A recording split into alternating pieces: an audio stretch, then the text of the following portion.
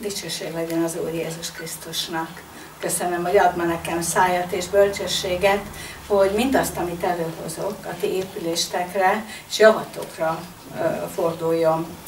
Ma az engedelmességről fogok tanítani, engedelmességről, és néhány bibliai hőst megemlítek, akik engedetlenségbe estek, és bizony, hát ebből káruk lett.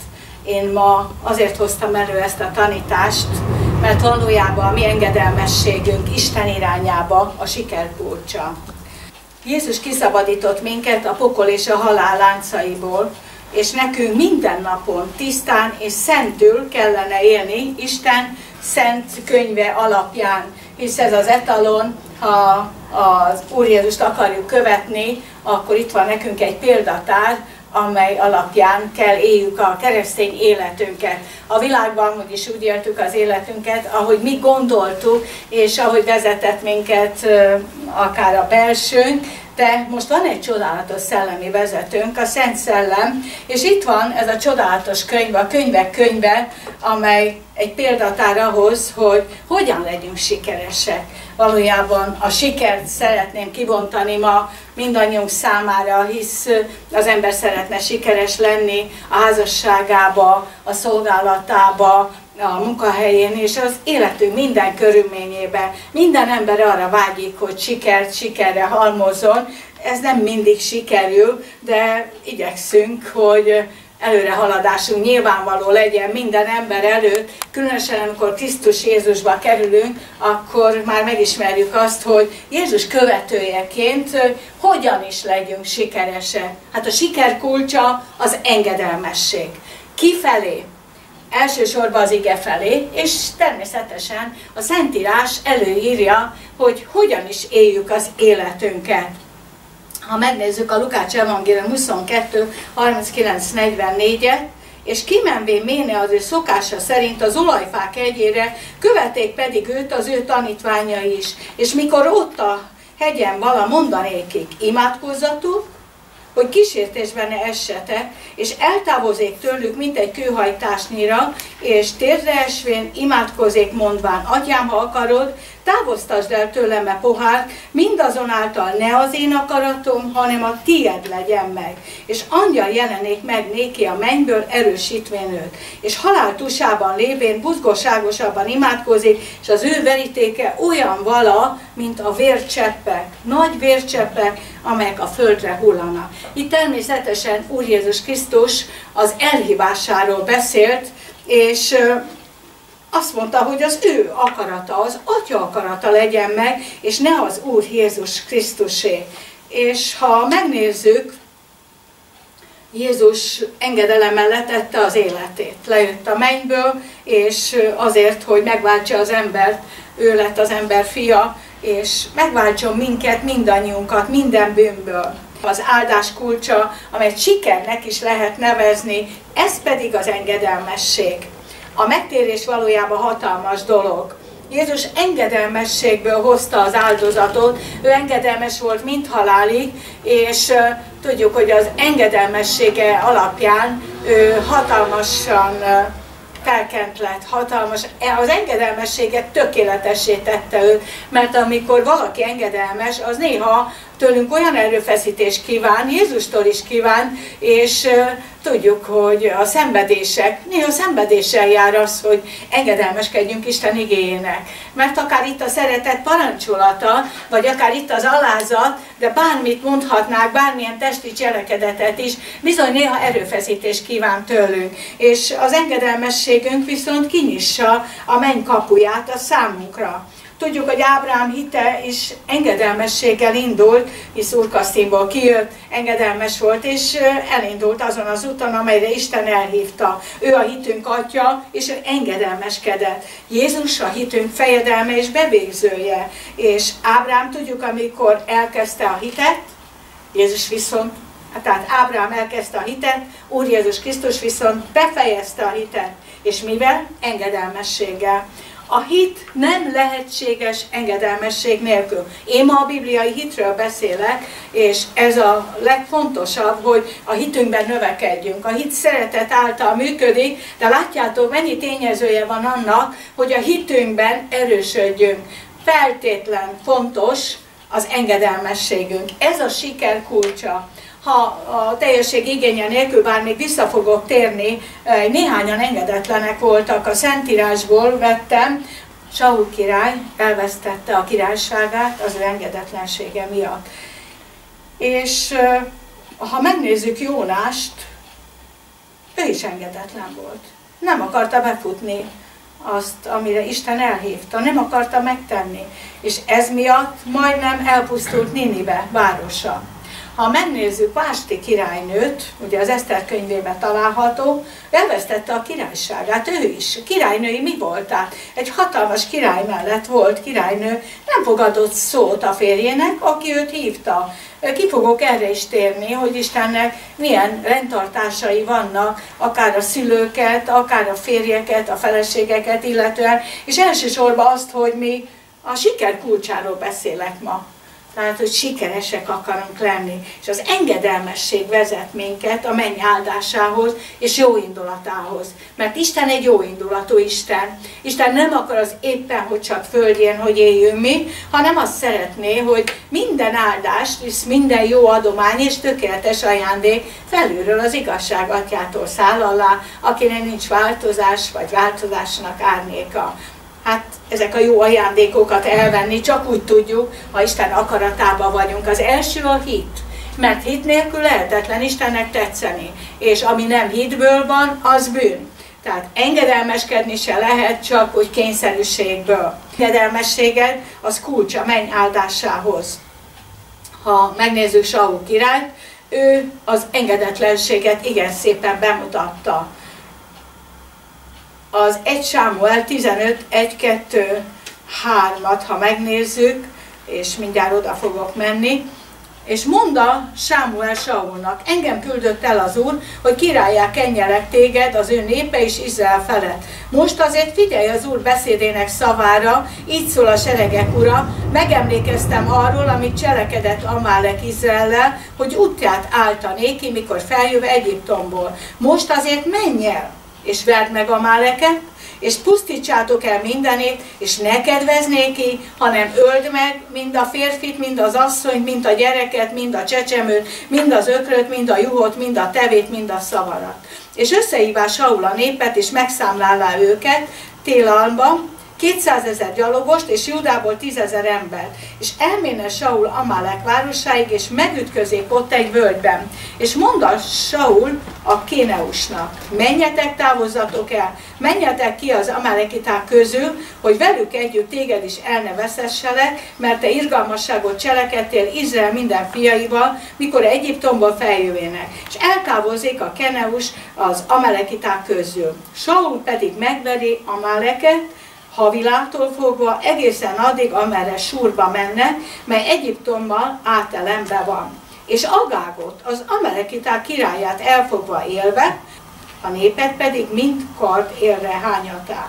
És Saul és a nép azonban megkímélte Agágot, és a juhoknak, barmoknak és másodszülötteknek javát, bárányokat, és mindazt, ami jóvala, nem akarták azokat elpusztítani, hanem ami megvetett és értéktelen dolog volt, mindazt elpusztíták.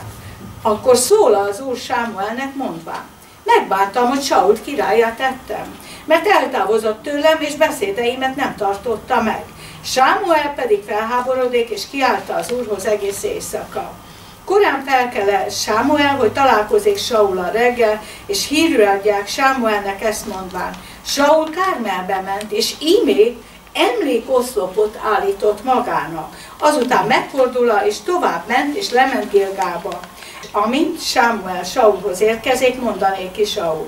Áldott vagy te az Úrtól, és végrehajtám az Úr parancsolatát. Sámuel azonban mondta, micsoda az a jubégetés, mely fülembe hat, és az ökörbőgés, melyet hallok. És mondta Saul, az amelekitáktól hozták azokat, mert a nép megkímélte a juhoknak és ökröknek javát, hogy megáldozza az Úrnak, a te Istenednek, a többit pedig elpusztítottuk. Akkor mondd a Sámuel Saulnak, engedd meg, hogy megmondjam néked, amit az Úr mondott nékem az éjjel. Ő pedig mondta, beszélj!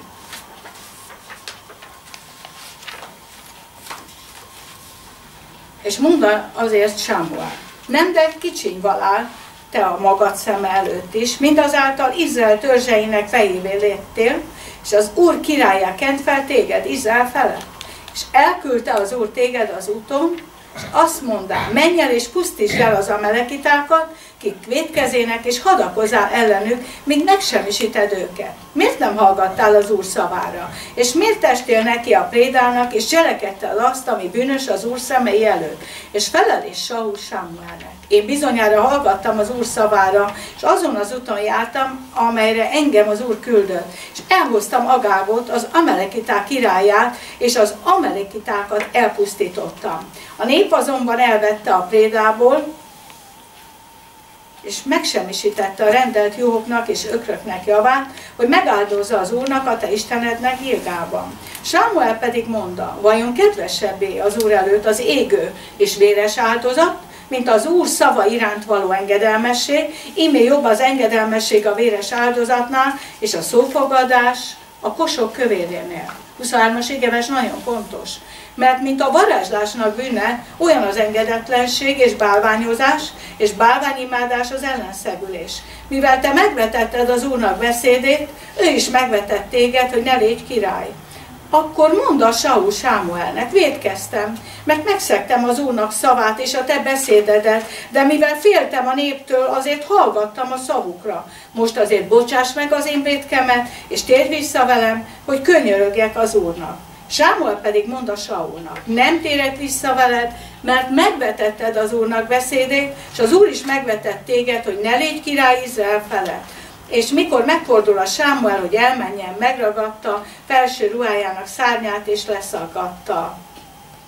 Akkor mondanék ki Sámuel, elszakítál tőled az Úr a mai napon Izraelnek királyságát, és adá azt a fele barátodnak, aki jobb náladnál. Izraelnek erőssége pedig nem hazudik, és semmit meg nem bán, mert nem emberő, hogy valamit megbánjon. Nézzük Saul király történetét. Tudjuk, hogy egy rendkívül jóképű, nagyon magas, nagyon daliás ember volt, és kiválasztották őt királynak, ki lett választva, az úr megadta neki a hatalmas rangot, de sajnos az a bűne volt, hogy engedetlen volt Istennek, és félt az emberektől. És az emberektől való félelem az bizony tört tud vetni, megállít minket az útban mi nekünk Isten felé engedelmességgel kell lenni, mert ahogy mondtam az előbb, hit nélkül lehetetlen Istennek tetszeni. Isten a hitisten. Csak hitben tudunk Istennel kommunikálni, bármit is elfogadni. Jézus engedelmességére tekintünk, az egy hatalmas áldozat volt, és Jézusban nem volt indulat, csak engedelmesség. Jézus utánzójaként nekünk is engedelmeskedni kell Isten igének amennyire lehetséges, feljebb és többet nem kíván tőled Isten, többet nem kíván tőled Isten, mint amilyen hitszinten vagy, hogy többet cselekedjél, mint amennyit elbírnál, vagy amennyi az ismereted. És nincs több hited, mint amennyi ismereted van a Szentírásból. Az engedelmességed, a tied és mindannyiunké kulcsa menny áldásához, jó tulajdonság, vagy jó indulatához. Tehát ez nagyon fontos, hogy engedelmesek legyünk, mert Isten jó indulatát élvezzük, és a menny áldását. És erre nagy szükségünk van ebben a mai elfordult, gonosz világban, ahol az emberi lét szinte semmit sem számít.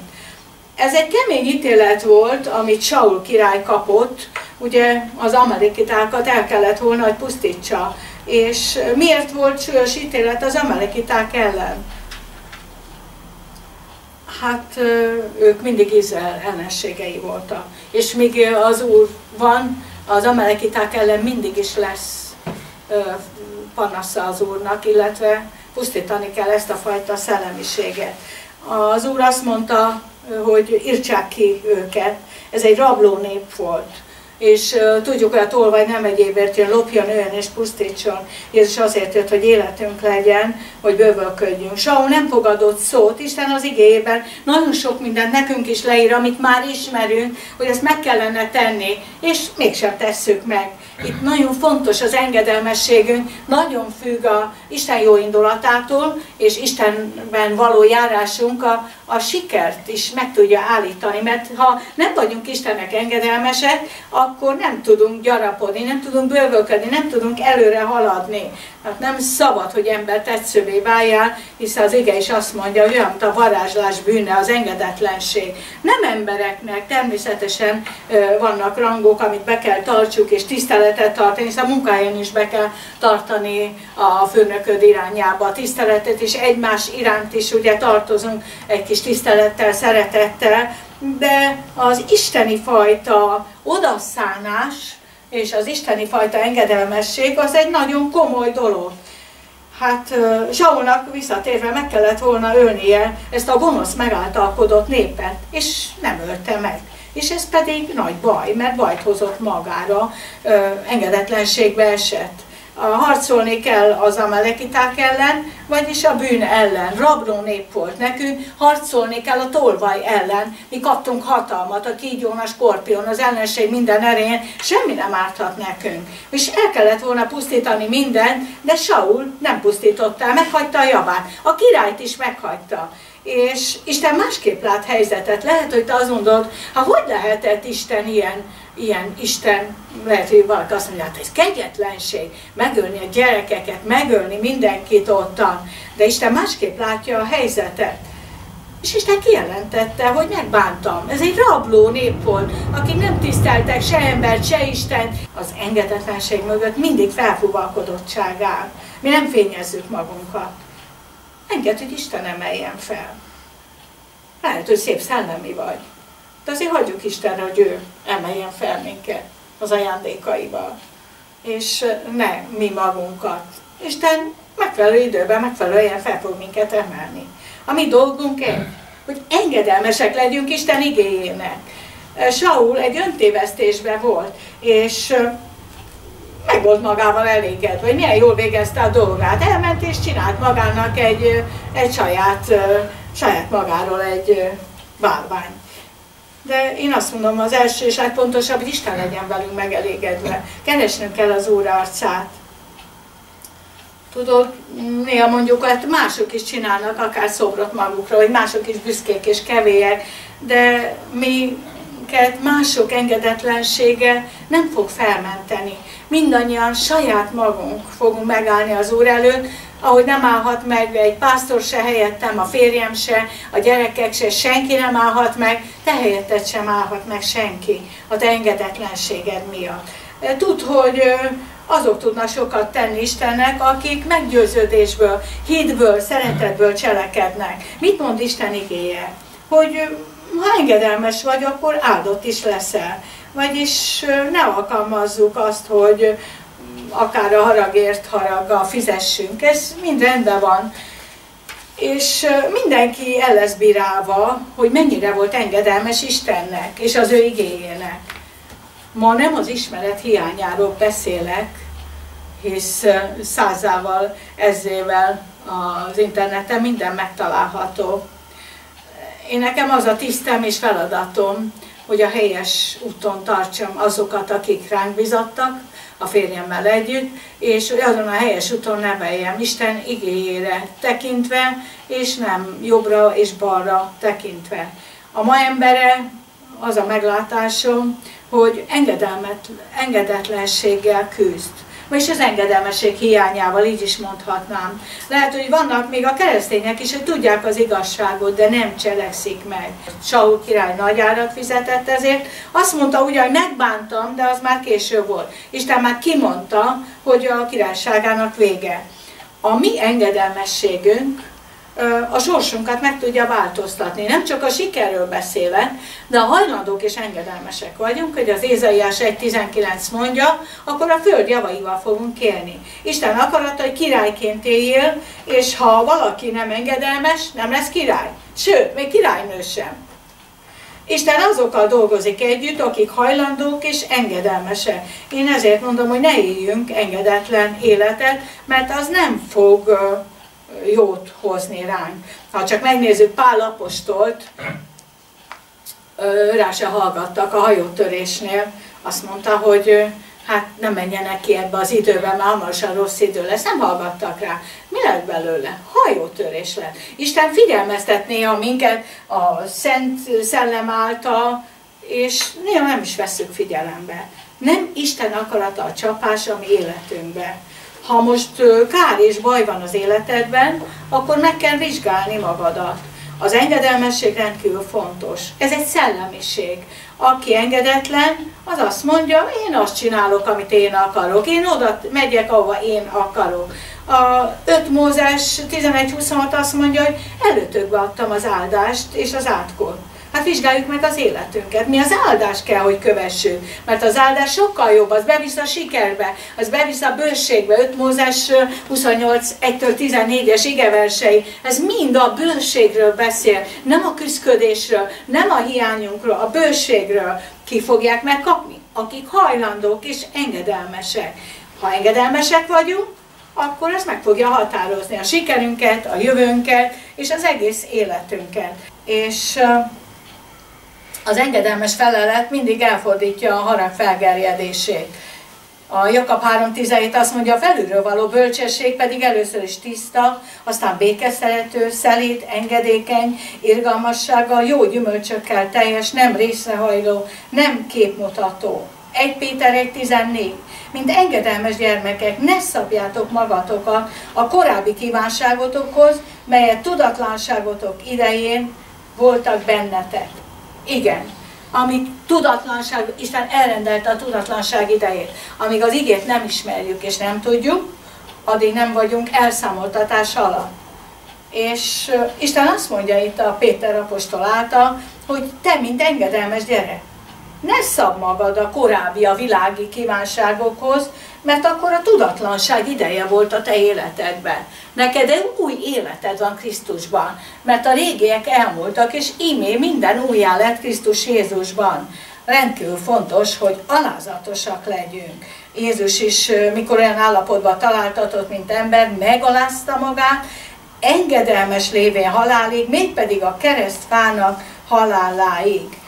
Sok vádlással nézett Jézus szembe, amikor vádolták, nem felelt a vádakra. Adja meg Isten ezt nekünk is, hogy ne feleljünk a vádakra, hogy ne feleljünk a gonosz szájakra, bármi, amivel minket megbántanak. A csapás az nem Isten akarata az életünkben. Ha most nehézség van, ahogy mondtam az előbbiekben, meg kell vizsgálni magunkat. Ha az ige szerint akarunk járni, akkor bizony engedelmeskednünk kell. Elsősorban Istennek, az ő igényének, és nagyon sok más dologban is hajlandóság, engedelmesség kell legyen.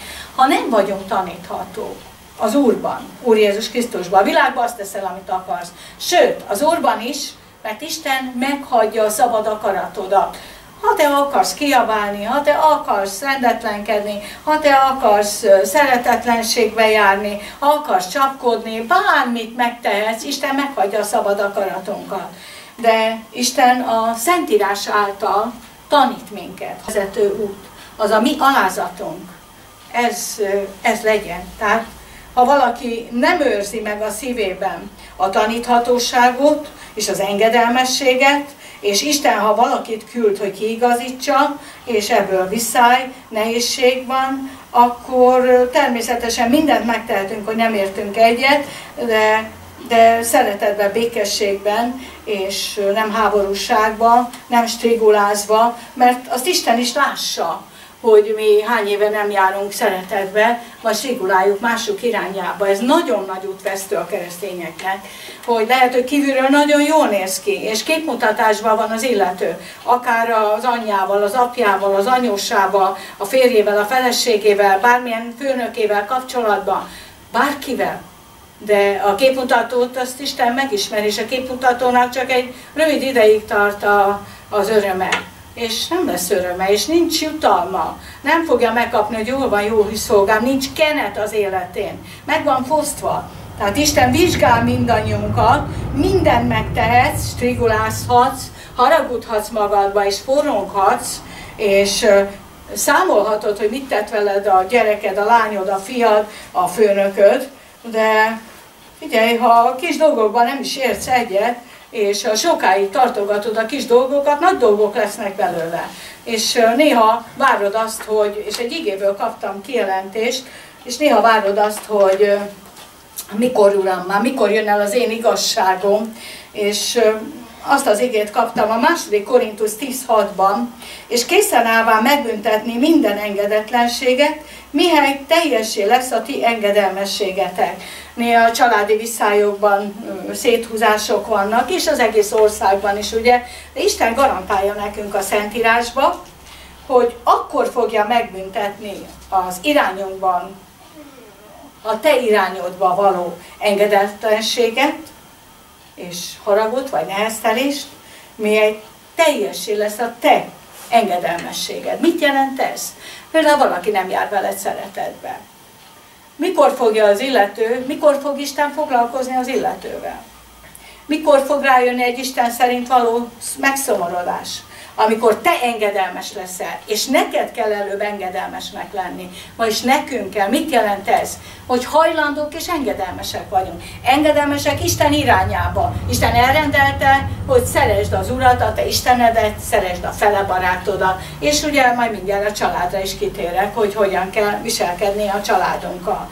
És én erről sokat gondolkodtam erről az igéről, amíg aggódsz és mérgelődsz, Isten nem tud addig munkát végezni a másik illető életébe. Miért? Mert te nem vagy engedelmességbe. Mert nem jársz szeretetbe, vagy nem vagy tanítható, vagy nem vagy alázatos. Lehet, hogy gonosz mondtak rólad, és hordozod még magadba ezt a fájdalmat. Nem mindig könnyű letenni, de akkor azt várod, hogy tegyen igazságot a te ügyedben, és a mérleget a te javadra döntse, és ne az legyen, hogy te kell megmérettél, és a királyságod elveszett, hanem akkor neked engedelmesnek kell lenni Isten irányába, amit ő leír az igében, és akkor lesz majd változás az illető életébe. Ha Isten akkor fog vele foglalkozni, bár Isten azt mondja, hogy ha megütközik az ellenségünk, akkor mi azon ne örüljünk. Mert az ítéletet mindenki elkerüli. Minden maga az ő fajtája szerint terem, és néha az emberek várják, hogy na a másikat most már büntesse meg Isten. Ezt nem szeretem, mert Isten leírta az igéjében, hogy nem szabad megütköznünk, örülnünk, amikor a másik elesik. Isten ezt nem nézi jó szemmel. Ez nem helyes.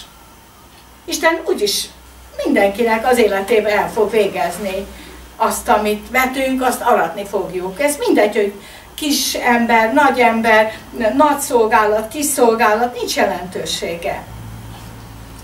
Az 5 Mózes 7.12 azt mondja, ha pedig engedelmeskedtek a végzésnek, és megtartsátok, és teljesítitek azokat, az Úr a te Istened is megtartja néked a szövetséget és irgalmasságot. A legfontosabb Isten irgalmassága, a jó indulata. És azért megesküdött a te atyáidnak. Hát, ha engedelmesek vagyunk, az áldás ránk száll. A Róma 13 azt mondja, annak okáért szükség engedelmeskedni, nem csak a haragért, hanem a lelkismeretért is. Ez nagyon fontos. Kinek kell nekünk engedelmeskedni?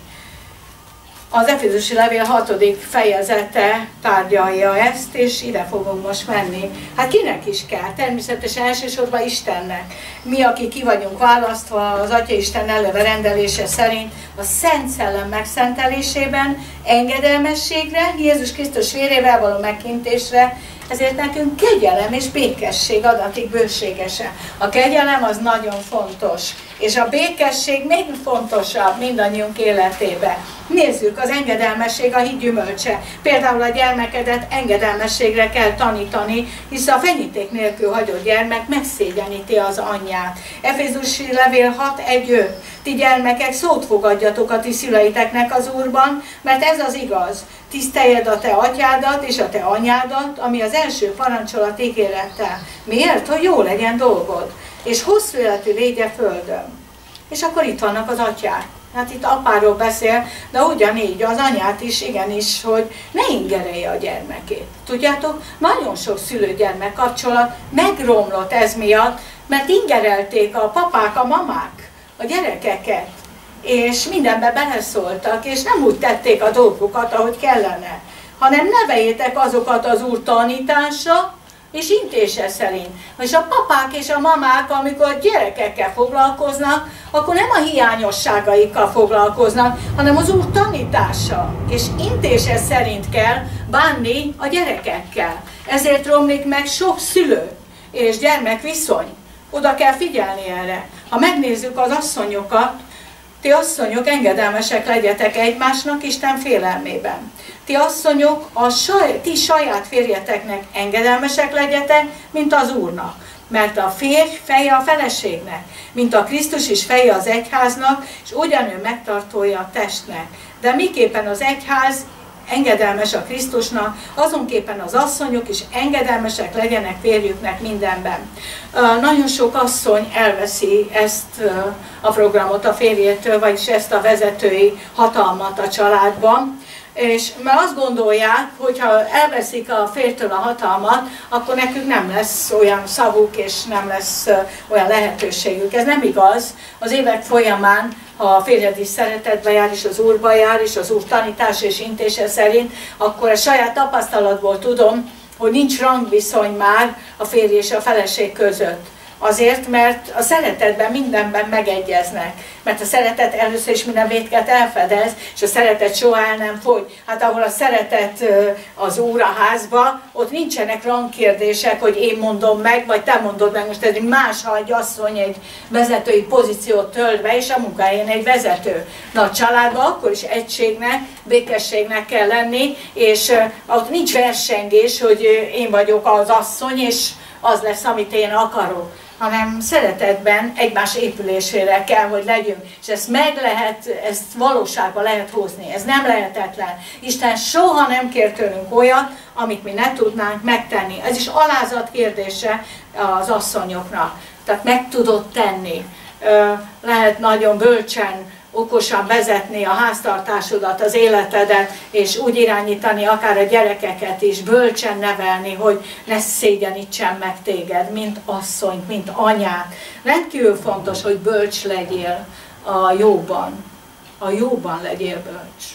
És ne a rosszat gyarapítsd az életedbe. Ti férfiak, Szeressétek a ti feleségeteket, miképpen a Krisztus is szerette az egyházat, és önmagát adta azért, hogy azt megszentelje, megtisztítván a víznek feredőjével az ige által, hogy majd önmaga elébe állítsa a dicsőségben az egyházat, úgy, hogy azon ne legyen szeplő, sömörgözés, vagy valami aféle, hanem hogy legyen szent és fedhetetlen.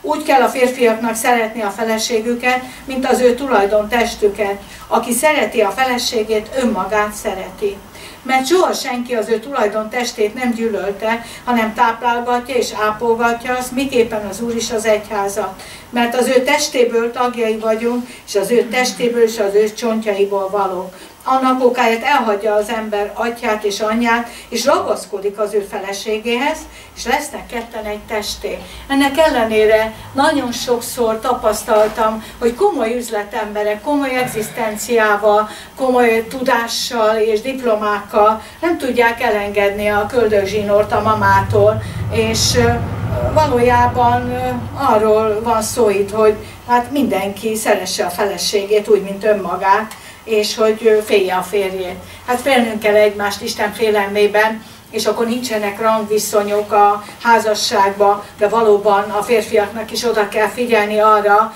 hogy úgy szeresse a feleségét, mint önmagát. Hát ez egy nagyon komoly kihívás, mert a feleségek is néha hibáznak dolgokba, és hát nem mindig szeretni való a cselekedetük. De ne táplálgazd a rosszat a feleséged irányába, te elhagytad apádat, anyádat, és valamikor szeretetből elvetted azt az asszonyt, és tartsátok meg mindketten a hitet és a jó lelkismeretet, mint amit néhányan a hajótörés szenvedtek ezekben. Tehát nekünk, mi Krisztusról és az egyházról beszélek, de igenis az embernek szeretni kell a feleségét. Minden helyzetben és minden körülményben. Ezt ki lehet munkálkodni a házasságban, hogy megbocsájtással, szeretettel, neked is van hibád, neki is van, és vigyáznotok kell a kapcsolatokra. És kaptam egy kijelentést még a engedelmességben, a fősvénység. Jézus beliekhez írt levél 5, 1-től 5-ig. És azt mondja itt Isten, hogy járjunk szeretetbe. Ez egy jó tanítás. Én azt gondolom, hogy egy jó kis tanítás. És járjunk szeretetben.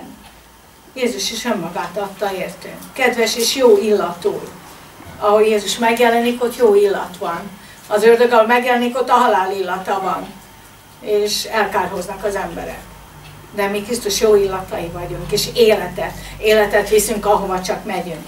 Figyelj, parázlanság pedig, és akármely tisztátalanság vagy fősvénység, ne is neveztessék ti közöttetek, amint szentekhez illik. Figyeled, mivel említi a fősvénységet együtt? paráznassággal, vagy bármely tisztátalansággal. Hát abban minden belefér a tisztátalanságba, ami, ami ugye nem a hajlandóságról és engedelmességről szól.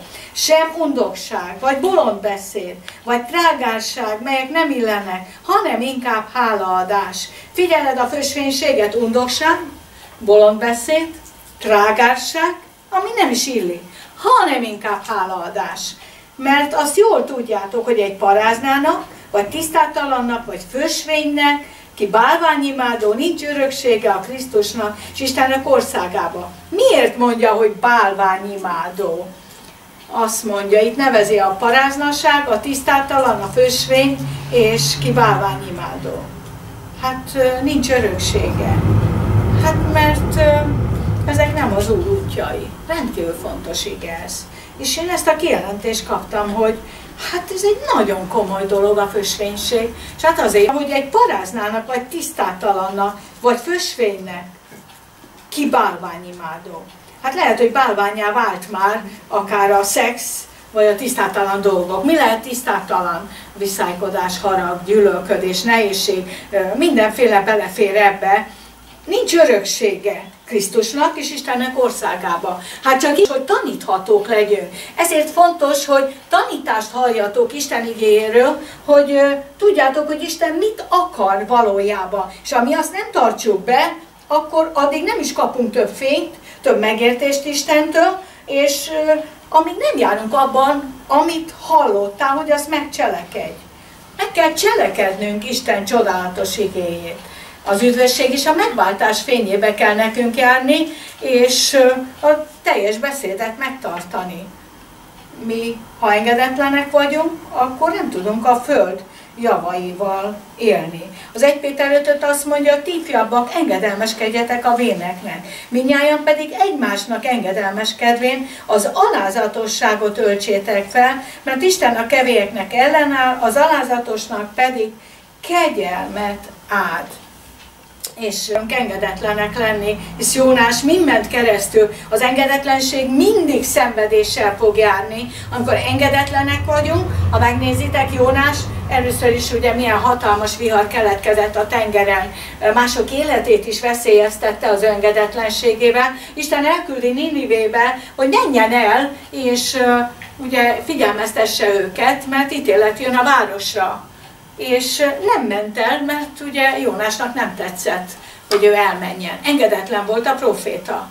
És kidobják a hajóból, tudja, hogy ő miatta van a háborúság, és kidobják a hajóból, és benyeli egy nagy cethal. Ez nem volt semmi, három napig a cethal gyomrába, az volt egy pokol abba a sötétségbe lenni, és egy bálna gyomrába tudta, hogy onnan aztán kiút nincsen, és amikor megtért az úrhoz, akkor a bálna kidobja, és végül is elmegy Ninivébe, és kihirdeti, hogy 40 nap, és elpusztul Ninive végül is megtért, és a király mindenkit bőtre fogott, megtért a város, és így megmenekültek. De mit szenvedett Jónás?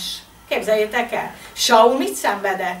Micsoda ítéletet kapott. Isten megbánta az engedetlensége miatt, mert nem fogadott szót Istennek. Az egy dolog, hogy Dávidot üldözte élete végéig. De milyen ítéletet kapott? Nézzétek meg! Az egy komoly dolog volt, amilyen ítéletet kapott. Isten megbánta, hogy királyá kente, és elvette a kenetét, elvette a királyságát. Az nem semmi dolog volt. Milyen szenvedésen ment át, és meghalt. És ez számára nem volt egy dicső dolog. És kivette át? Dávid, az engedelmes gyerek, aki Istenben bizott, aki hajlandó volt és engedelmes Istennek. És itt van Vásti királynő. Hát ez se egy semmi dolog. Elvesztette a királynői mi volt? Tehát hatalmas, rengeteg országnak volt a királya a férje és gyönyörű volt a nő, és be kellett volna, hogy mutassa az ő szépségét az udvarnak. És nem tette meg. Az engedelmességet valójában ö, Isten találta ki, nem én. Az ő nagy jóságából. Ő az áldás forrása, és ő rendelt el, hogy te is és én is engedelmesek legyünk. Ez nem mindig könnyű, egyikünknek sem. Az engedetlenség mindig magával hozza a csapást, a kudarcot. Nekünk nem szabad szidalmazni, lázadozni, hazudni, lopni, kösvénykedni. Még a politikusokat sem szabad szidalmaznunk, mert ők is felsőbb hatalmasság. És Jézus és Dávid is nagyon engedelmes volt. Jézus megtanulta az engedelmességet, és tökéletességre jutott. Hát bár így lenne velünk is. Zsidó levél 5-8-9, ám bár a fiú megtanulta azokból, amiket szenvedett, az engedelmességet, és tökéletességre jutván örök üdvösség szerzője lett, mindazokra nézve, akik néki engedelmeskedtek. Dávid engedelmes volt és győzelemre és áldásra fordult minden körülötte. Még az előjárókat hagytam ki, hisz ez is bele tartozik. Még az előző igéhez annyit szeretnék mondani, hogy tisztességes minden tekintetben a házasság és a szeplőtelen házasság. A paráznákat pedig és a házasság rontókat megítéli Isten. Fösvénység nélkül való legyen a magatok viselete, elégedjetek meg azzal, amitek van, mert ő mondotta, nem hagylak el, sem el nem távozom tőled. Rendkívül fontos ez az igevers is, megmondom őszintén, ez még az Efézusi levélhez tartozik, ez a csodálatos ige, és itt azt mondja, hogy elégedjetek meg azzal, amitek van. A legtöbb eléged a világban Jézus nevében. A világban nagy elégedetlenség van. És Jézus azt mondta, hogy nem hagylak el, sem távozok tőled. Lehet, hogy ma el, nincs elegendőd. Persze ez is egy kérdés, hogy kinek mennyi az elegendő. A szemünket nem lehet megelégíteni. De Isten azt mondja, hogy hát ha nem hagy el, és nem távozik el tőled, akkor mit elégedetlenkedsz? Akkor miért mindig azt nézed, hogy mit nincs? És mennyi mindened van? És másnak meg semmilyen nincsen. Más meg a hid alatt alszik, és neked mennyi mindened van. És azt mondja a zsidó levél 7, 7 és 7.17. Emlékezzetek meg a ti előjáróitokról, akik szólották néktek az Isten beszédét, és figyelvezvén az életük végére, kövessétek a hitüket. Miért megemlékezni az előjáróról, akik Isten igéjét és beszédét viszik nektek? Hogy kövessétek a hitüket. A 17-es azt mondja, engedelmeskedjetek előjáróitoknak, és fogadjatok szót, mert ők vigyáznak lelkeitekre, mint számadó. Tudjátok, hogy nagyon komoly ítéletben lesz részünk, mert el kell számolnunk az emberekkel. El kell számolnunk az engedelmesekkel is, és az elégedetlenekkel, és az engedetlenekkel is. És ezt örömmel kell művelni mindenkinek, és nem bánkódva. Ha bánkódva teszi, hogy ő engedelmes, az előbb-utóbb ki fog jönni a pohárból, amikor túlcsordul a lelki érzelmi szinten, és úgy is ki fog derülni, hogy mi van valakinek a szívébe. Nem bánkódunk mi, hanem engedelmeskedünk. És alá kell rendeljük magunkat felsőbb hatalmasságnak. Én is alárendelem magamat Istennek, és alárendelem magamnak, akinek csak kell. És nézzük, a, ez a befejezésem, és az engedelmeseknek, mi, akik engedelmesek vagyunk, hiszen és az Úr megbocsájt nekünk, ha most nem vagyunk, vagy nem voltunk engedelmesek, bármiben is, akkor Isten jósága Istennek. Ez csodálatos, és hát az ő jósága. Azt mondja a Zsoltárok 5, 12, 13. És majd örülnek mindjárt, akik bíznak benned, mindörökké vigadjanak, és te megoltalmazod őket, és örvendeznek te benned, akik szeretik a te nevedet. És itt a lényeg, mert te Uram, megáldod az igazat, és körülveszed a te jó voltoddal, mint egy pajzsal. Vagyis mi ez a jó indulat? Isten jó indulata? Mint egy pajzs, pajzsként vesz körbe. Hát ki lehet ellenünk, a Isten jó indulata kísér minket? Hát akkor az emberek is fognak örülni, mert ugye akit Isten így körbevesz, az, az vigadunk és örvendezünk, és szeressük az Úr nevét, mert megáld minket. A Zsoltárok könyve 27.13.14 bizony hiszem, hogy meglátom az Úr jóságát az élők földjén. Hiszem, hogy te is meglátod itt az élők földjén. Ebbe a világba, ebbe az elfordult nemzetségbe, ahol az emberek mostanában nem mindig tesznek jót egymásra. De bizony mi meglássuk az Úr jóságát, mert minden rosszból jót hoz elő. És azt mondja a 14-es, várjad az Urat, légy erős, bátorodjék a szíved, várd az Urat. És mikor fog ez megtörténni? Hajlandó és engedelmes leszel. És köszönjük Istennek, hogy ezt megadja nekünk, és elűzi előlünk az ellenséget, mert az ő jósága ilyen. És Dávid is azt mondta, hogy Uram, az engedelmesség szellemével támogass engem.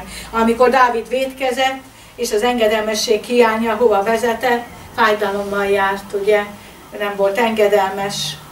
És az engedelmesség az egy nagyon jó dolog, mert az örömmel jár és győzelemmel. Az engedetlenség fájdalommal jár. Dávid mindenhol győzött, mégis egyszer megbukott az engedetlenség által. Mindannyian tudjuk, Becsábé volt a gyenge pontja. És ha az ember engedetlen, akkor elveszti Isten természet fölötti támogatását. Ezért kérte Dávid, és mi is kérjük Isten. A Zsoltárok 51, 12, 14 alapján. Tiszta szívet teremts bennem, ó Istenem, és az erős szellemet újíts meg bennem. Add vissza nékem a te szabadításod örömét, és az engedelmesség szellemével támogass engem. Halleluja! Dicsőség Istennek. Forgassátok a Szentírás, mert ebben van az életünk elrejtve, és cselekedjétek meg, legyetek hajlandók, legyetek engedelmesek, mert ebben csodálatos, hogy mi minden le van írva. A világnak bármennyi könyve sem ér fel, ezzel az egyel. Ez a mi életünk. Itt van elrejtve minden, ami számunkra kell. Isten jó indulatához, győzelméhez, előrehaladáshoz, a hosszú élethez, a bőséghez, a megelégedettséghez, a bátorsághoz, a békességhez, és minden, amire csak szüksége lehet egy embernek.